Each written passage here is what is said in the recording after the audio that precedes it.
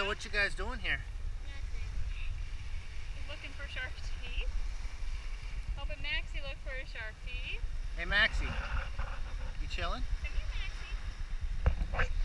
Clean your shoes out. Let's try this without the underwater filter. I think I said Oh, myself, and excuse me, everyone. that's glass or bush. Hello. And And I think this it's is a tooth that I recently just had. Here, Max. Let me see it. Ellie, you need Too, help too me? Close, too close, too close. Yes, class. Nice, baby. So show me your uh, show me your stockpile. What you got so far? Okay. Max, look. This, this, this yellow one Hold on. All right. this yellow bucket is mine. What's in the yellow bucket? Well, this is my favorite tooth. That's a big shark tooth. It is. This, and the one you just saw was the one I recently found. Max found a shark. And this is the one Hold on, hold on. What'd you find? Oh! Whoa. That's pretty cray cray. Look Well, at that's that. a really good one. That's uh Good job, Max. Wow, that Max. awesome one.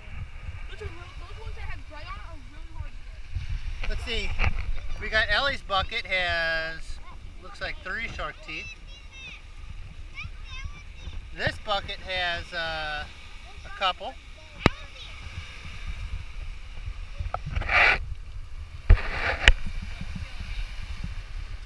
My stuff's so loaded up. So how's paradise? It's good. Having a good time. It's just the shoes are completely loaded with sand.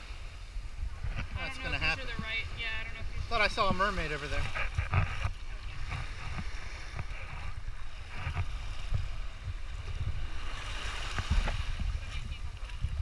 I just can't believe the amount of uh,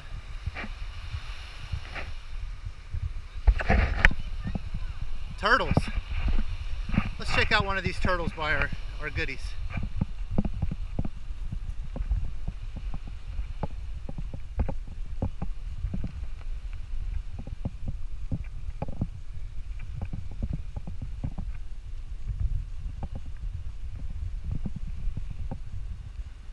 Under there should be about a hundred eggs. I believe these leatherback turtles, their eggs are about the size of ping pong balls. Yes, I read that when I went to Clearwater Aquarium. And this actually looks to be a uh, primo spot for them. I'd like to see what it is at night. Actually see one of these guys come on the shore. All right. Caspersen Beach, living it up, South Venice. Getting some sharky teeth. See ya.